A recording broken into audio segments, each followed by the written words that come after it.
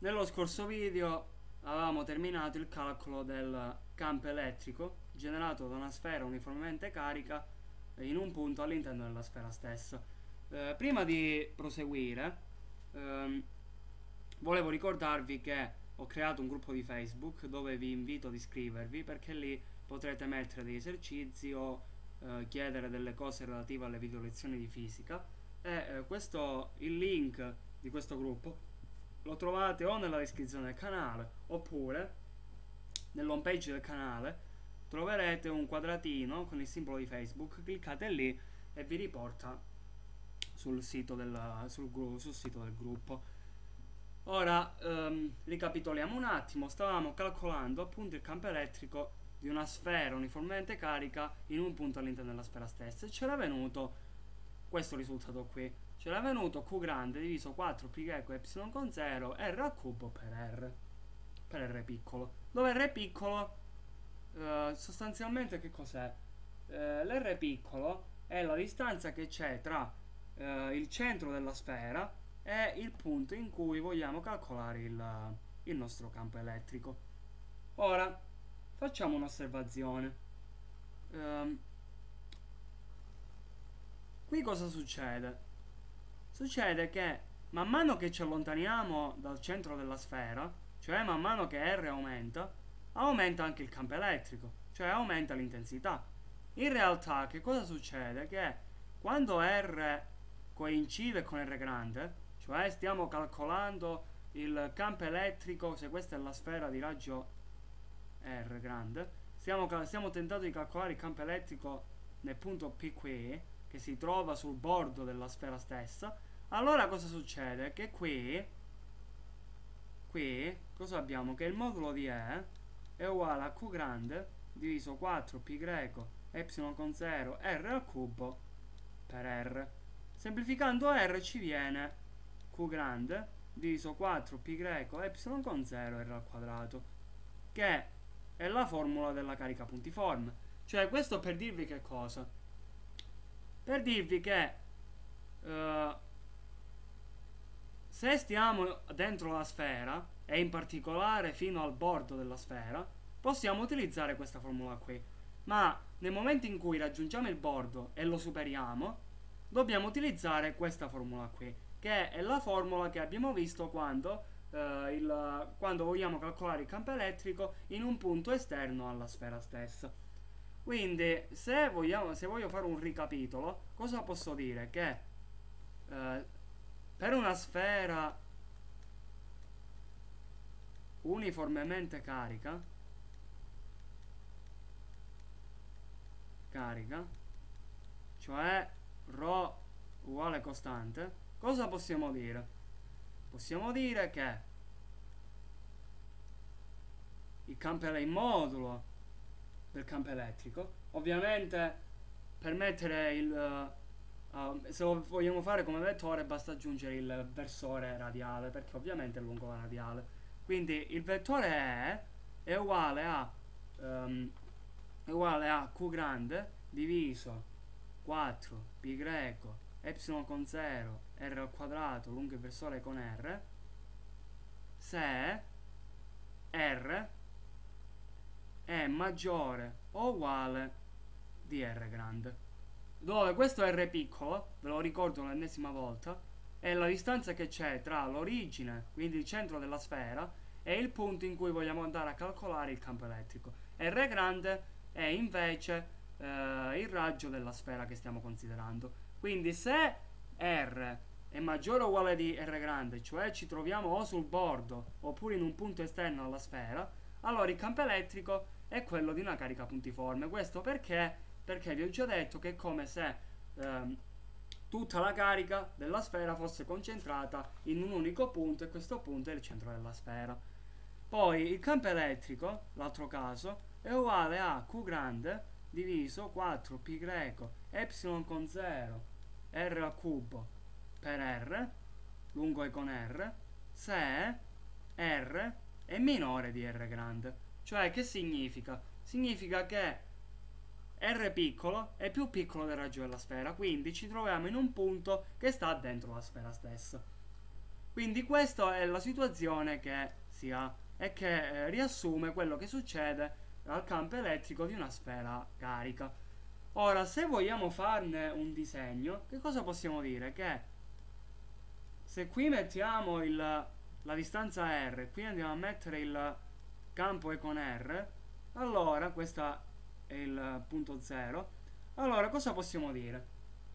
Possiamo dire che eh, se ci troviamo al centro della sfera, cioè R è uguale a 0, cosa succede? Che il campo elettrico è uguale a 0.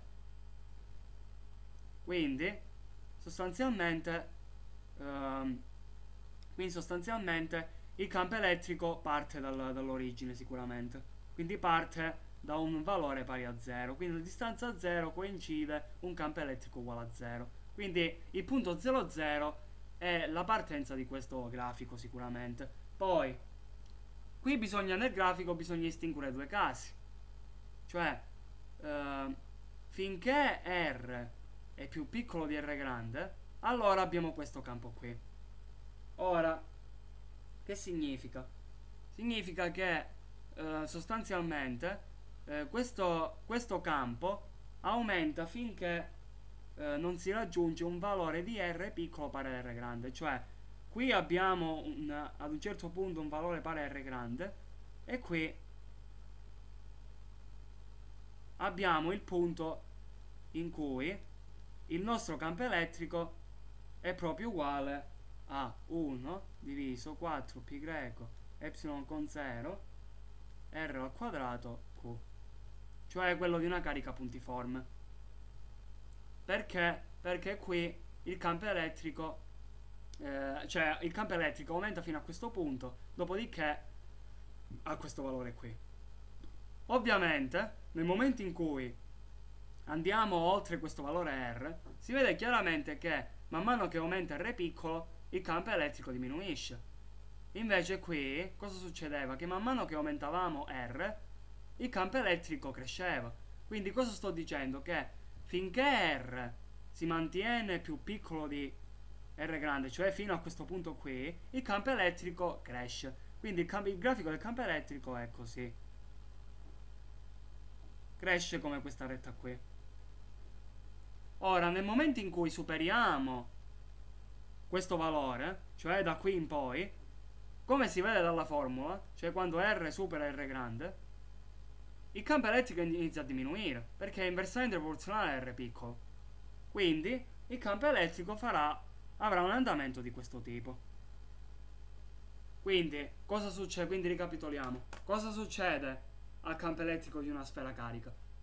Finché, allora, se ci troviamo in un punto che coincide con il centro della sfera, il campo elettrico è zero.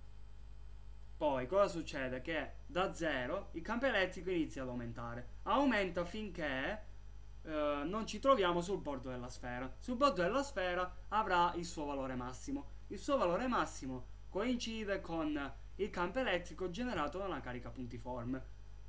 Quindi è uguale a 1 su 4 pi greco epsilon con 0 q grande diviso r al quadrato. Ora, dopo che superiamo questo valore, il campo elettrico inizia a decrescere chiaramente perché man mano che aumentiamo questa distanza, chiaramente il campo elettrico diminuisce perché è inversamente proporzionale al quadrato della distanza. Quindi l'andamento sarà di questo tipo qui. Ovviamente questo è il valore massimo perché, perché eh, subito a sinistra, poco a sinistra di questo punto, il campo aumenta. Poco a destra diminuisce, quindi si ha un aumento e poi una diminuzione, quindi sicuramente questo è un valore massimo. Quindi vi ripeto, il campo elettrico aumenta, raggiunge il suo valore massimo e poi diminuisce. Quindi è un andamento di questo tipo qui. Ovviamente parte dall'origine, come in questo caso qui. Ok. Ora, prima di chiudere questo video, volevo farvi un ricapitolo per riassumere i campi elettrici che abbiamo ricavato tramite il teorema di Gauss. Eh, l'argomento teorema di Gauss finisce qui. Nelle prossime lezioni andremo ad affrontare eh, il, il concetto di conduttori in elettrostatica. Poi, dopo il concetto di conduttori, andiamo a vedere che cos'è un condensatore poi vediamo, poi corrente elettrica, eccetera. Ovviamente il teorema di Gauss, il, il, la parte teorica finisce qui, ma ovviamente il teorema di Gauss verrà utilizzato successivamente. Si può applicare sempre il teorema di Gauss, quindi è importante. Allora, mediante il teorema di Gauss siamo arrivati eh, al calcolo di sostanzialmente tre campi elettrici. Un campo 1, 2, 3. Quindi campo elettrico di un filo infinito. Tramite il teorema di Gauss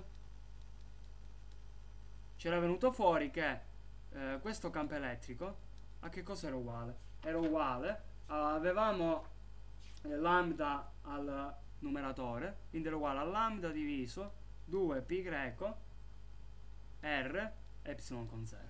Lungo ovviamente con r. Poi per un piano infinito, uniformemente carico, cosa c'era venuto fuori? Che il campo elettrico si mantiene costante, cioè il modulo rimane costante. Il modulo è uguale a sigma diviso 2 epsilon con 0 lungo la normale. Quindi questo, quindi il modulo di E c'era venuto costante. Quindi questo è uno dei modi per ottenere un campo uniforme, cioè quello di prendere un piano infinito, uniformemente carico. Ovviamente se ci allontaniamo troppo questa cosa non è più vera. Poi l'ultima cosa, sfera carica. Sfera carica, c'erano venu venuti quei due valori lì. Inutile che ve li riscrivo, erano quei valori lì che abbiamo scritto un attimo fa.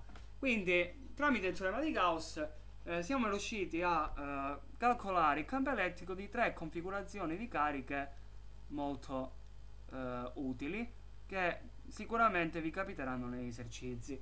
Ora, chiaramente, non ha senso imparare le formule a memoria. Cioè, queste formule qui è inutile che le imparate a memoria. Sostanzialmente, quando eh, dovete fare un esercizio, per esempio vi chiedono eh, di calcolare la differenza di potenziale dovuta a una sfera carica, cosa dovete fare voi? Dovete calcolarvi il campo elettrico e poi calcolarvi dal campo elettrico, con le formule che abbiamo visto, calcolarvi il potenziale. Ma ovviamente l'esercizio richiede anche l'utilizzo della legge di Gauss, quindi eh, non dovete scrivere la formula direttamente, ma negli esercizi, nei compiti, dovete ricavarvi eh, la formula come ho fatto io, quindi ricopiando tutti i passaggi che ho fatto io. Quindi l'esercizio molto spesso eh, consiste nell'applicare il teorema di Gauss come l'ho applicato io. Poi ovviamente, per esempio, vi possono chiedere la differenza di potenziale, il potenziale, l'energia potenziale, eccetera. Poi dipende dal, dall'esercizio stesso. Uh, nel prossimo video andremo appunto a eh, trattare un nuovo argomento. Questo nuovo argomento tra- parla di eh, conduttori in elettrostatica.